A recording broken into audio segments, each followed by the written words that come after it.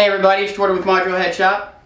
So this morning I was getting my assembly table uh, ready and I noticed that there was an imperfection in, uh, in the piston so I thought it'd be a good opportunity uh, to make a video on some 5.4 specific pistons. I do a lot of 5.4 specific uh, engines and rotating assemblies and also what the imperfection was in the piston. We'll go over um, some rod bearings as well. So um, first off, this is how I have my assembly bench um, every time I put an engine together, anybody that knows me knows I am as picky as it gets with this. But this is how no mistakes are made. You lay out all your rings, all your pistons, have them in the right orientation, all your connecting rods, all your bearings. You have the opportunity to count all your piston pins. So if you're missing one when you get to the end, you don't have to go back.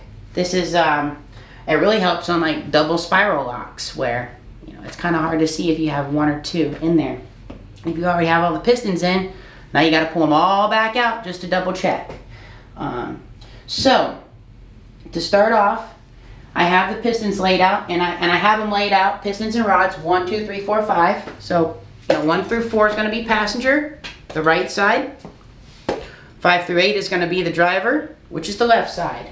However, I have the left, what's labeled as the left piston, for number one. Now that is the imperfection. So if you were doing this at home and if you've put together a small block before, you might think, okay, front left is right. Front left, right? Intakes leading, valve reliefs are here like a Windsor or LS. Incorrect. The two valve PI head, the valve reliefs are on the outside. So, this is labeled front left, but in reality, it's just a front right. If you flip it over, it's correct. The intake valve leads, it's on the correct side, and most importantly, is the wrist pin is offset. I'm not sure if you guys can see that. I'll see if she can focus in a little bit. Okay, the wrist pin is offset the opposite of the crankshaft rotation. This is key. So what we could do is take the piston that's labeled right, and it too would lead with the intake valve and the exhaust valve. It would also be on the right side, it would just be oriented wrong. However, you can see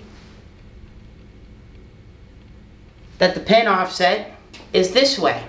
Now, for the pin, those of you that are not familiar with the wrist pin offsets, the wrist pin offset is done to take some leverage off the thrust side of the skirt, which is this side. It is always the left. Um, it doesn't matter what bank. And so you'll see some of the Sport Compact uh, pistons, when they try to get real light, they'll even make the non-thrust side skirt a little smaller. Um, so that is it for the orientation. Uh, I will go over these pistons as well. This is a 5.4 obviously. These are 5.4 specific pistons. They have an enormous dish, and that is because they are a zero deck design. So the factory pistons sit around 120 thousandths in the hole with a shallower dish. In my opinion, that's not the way to do it. If you are going to go through the trouble of building a short block, build it correctly.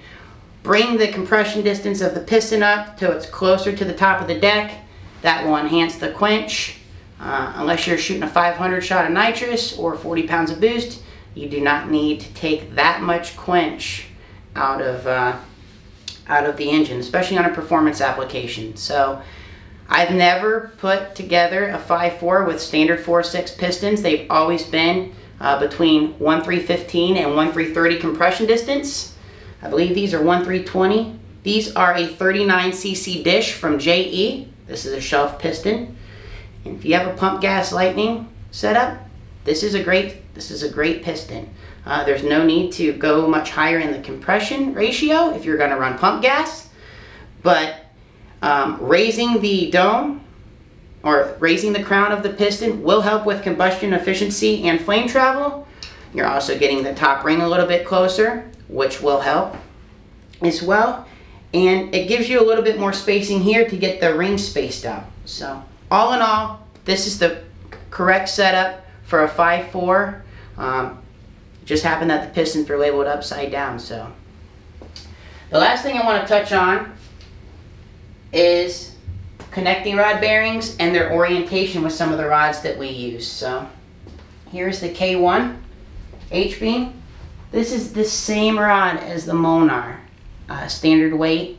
Um, so the one thing, these rods are great as well, um, but the one thing is that it doesn't matter on a standard 5.4 crankshaft, but if you had an aftermarket crank like a bit like a Sonny Bryant or a Winberg billet, it's more than likely going to have a radius uh, journal. So the connecting rods come machined two different ways. Flat for a thrust side, that's where they're going to be touching each other on the same journal. And then chamfered, and the chamfer is to clear the radius on the rod throw. So it's always going to be on the outside of the rod journal. So the bearings we use are the CB1442HN from Clevite. They have an upper and a lower, and that is so they are scooted over more towards the thrust side to allow for more radius clearance. However, if you put these in correctly, which would be the upper on the upper, this is the upper portion of the rod. I don't even need to show you the lower. You can see right here. It's really close to the chamfer and very far away from the thrust face. That is not correct. What should have happened is this tang should have been on this side or the chamfer should be on the other side. Again, I just want to stress that while this does, you know, this is not very important for the engine I'm working on today, I do everything the same way so there's no mistakes made when it does count. And I encourage everybody else to do it. So, now we will take the lower and put the lower on the upper. Okay. And now it's much closer to the thrust face, but not too close. And you have an additional clearance here on the side of the rod. So, if you have a 4.6, you're using a Manley or an Eagle crankshaft, you better be putting the lower bearing on this side of the rod if you have a K1 or a Molnar rod.